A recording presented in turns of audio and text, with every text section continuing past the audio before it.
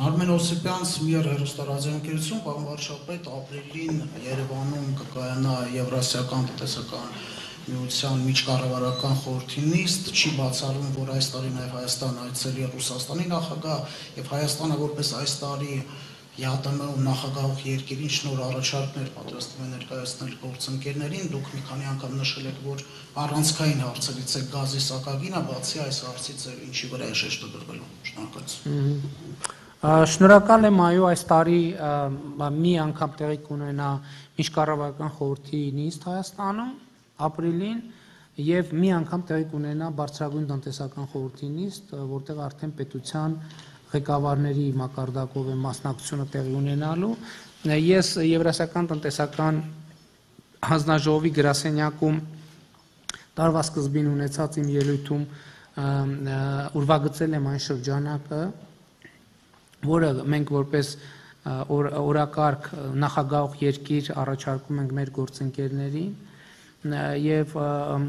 ես կարող եմ ասել, որ շատ կարեւորում ենք մեր նախագահությունը Եվրասիական տնտեսական միությունում եւ հույս ունենք, որ մեր նախագահության ընթացքում կազմակերպության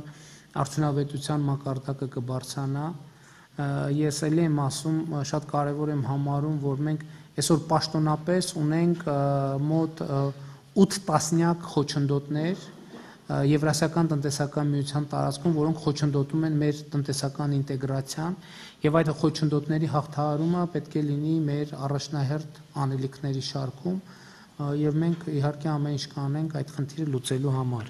Բայց քանի որ գազի թեմային անդրադարձակ, օրինակ ես կուզենայի եւս մի տվյալ, որը ձեր հարցից մի քիչ շեղվում է,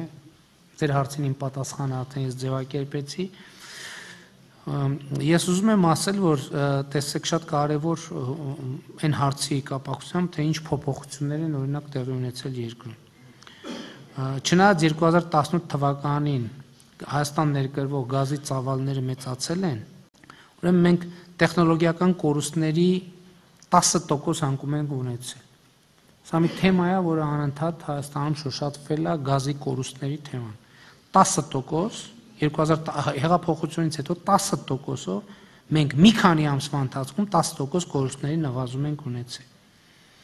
2018 թվականին 23%-ով նվազել են անհայտ սպառողները։ Այսինքն դրանք սպառողներ են, որոնք, այսպես ասած, լևի էին գազը օգտագործում։